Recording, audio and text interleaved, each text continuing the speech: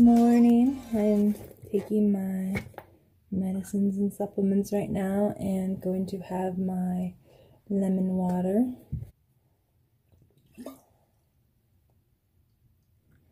I don't know if that's how most people would take it, but that's how I take it. It works for me. It doesn't cause me any problems. Every day for about the past week or a little more, I've been writing down stuff that I want to accomplish the next day and then going over it in the morning and then that night writing down um, a little journal entry about what I did accomplish that day. I realized that just putting the smallest amount of every thing that I want to accomplish is really helpful because I don't feel like I need to do more than that. And if I do, then I'm extra proud of myself that I did. Uh, so for today, I want to one tutorial on Photoshop or Illustrator or InDesign. Exercise, I don't have a time on it. It's just whatever I end up doing. If I go on a hike, if I do a little video from YouTube, whatever it is that I do.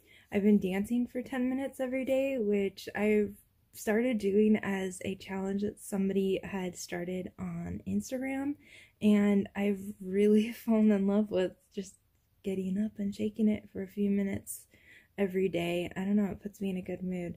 Reading an energy book.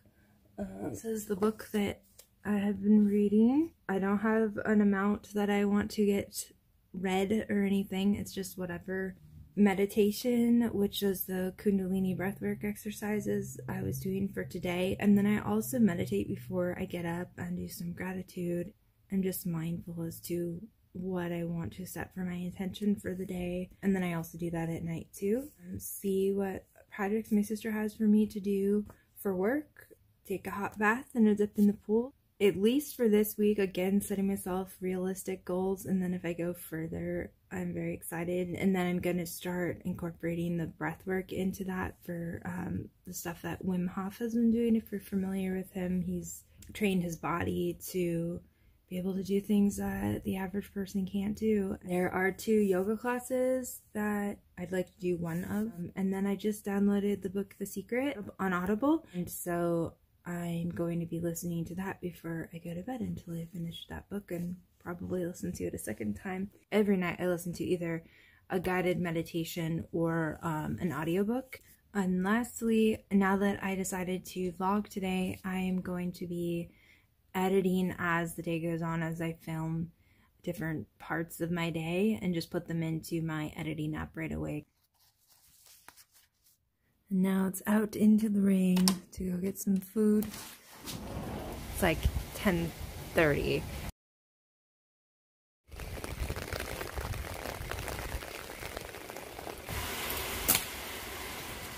It actually hasn't been raining too much this winter.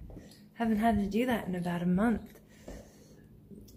Got my leftover soup. That's a mix of soup that my mom made and a Thai place that I got it from.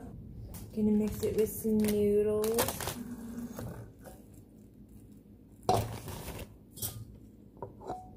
My acupuncturist gave me some herbs to help with this cough that I have.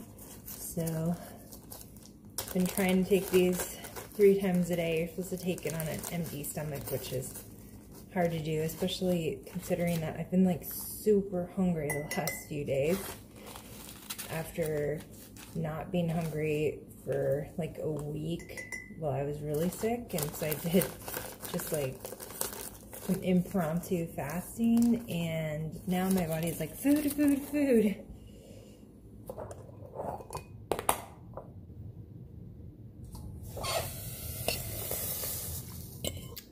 I mix together very non-traditional things, just whatever sounds good to me.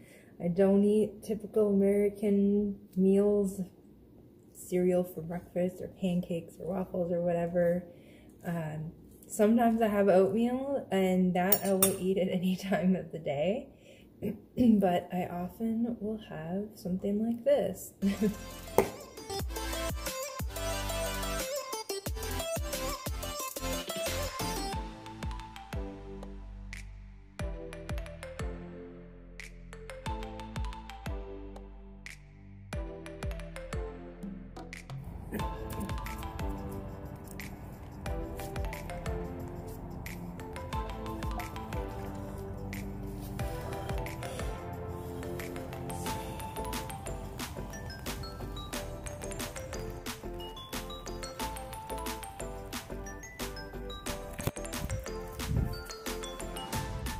I'm tired, but I also feel really good for accomplishing so much today. I just worked for about four and a half hours, an hour and a half of which was like full on focus with somebody that was teaching me how to use InDesign and Photoshop, which thank you for teaching me that. And I am done for the moment. Oh my goodness. It's interesting because I actually felt like dancing after instead of sitting down and like resting right away. I was like, I, even though I was physically, my brain actually hurt from processing so much, I still wanted to dance. And then I was like, you know what, it's gonna be getting dark soon and I haven't done my dip in the pool yet. So I did that and I did it without getting in the bath first and it was actually okay. and now I'm gonna eat some food that I made, another very traditional American meal of asparagus, Asian noodles, and um, meatloaf mixed together with avocado and some coconut aminos, but those are the types of meals I have. so, chowing down on this now. 6 p.m. I'm gonna eat some oranges. I wanted something else after dinner and I've been eating, I was eating tons and tons of oranges as I was getting better. Some days that's all I was eating after I had this cold because I just wasn't hungry for anything. Now, I think I said earlier in the video that I, I've been eating so much food, so definitely making up for that. I'm gonna do my journaling for the, for tomorrow, um, for the things I want to accomplish and go over the things that I did accomplish for today, which I think I did most of everything on here. Um, I definitely am proud of what I did accomplish today. I did things that I don't usually do, so it's definitely harder on the brain getting everything in there.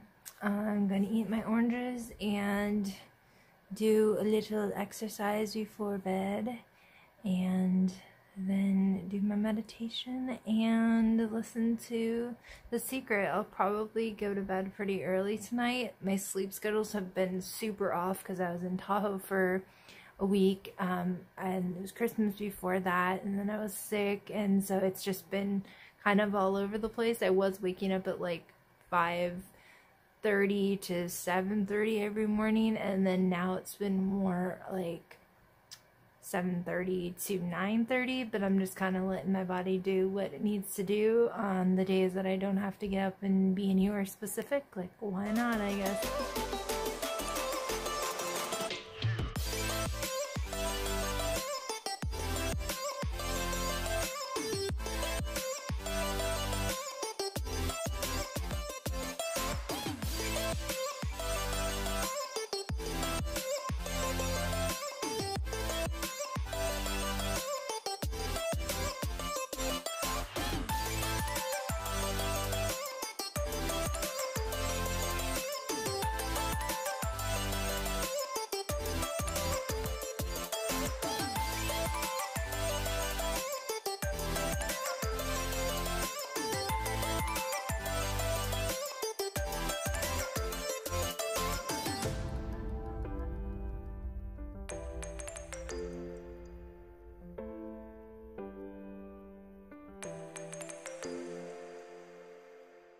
gonna probably sit back and edit this video. Hope you guys had a great day, and I will see you in the next video. Bye.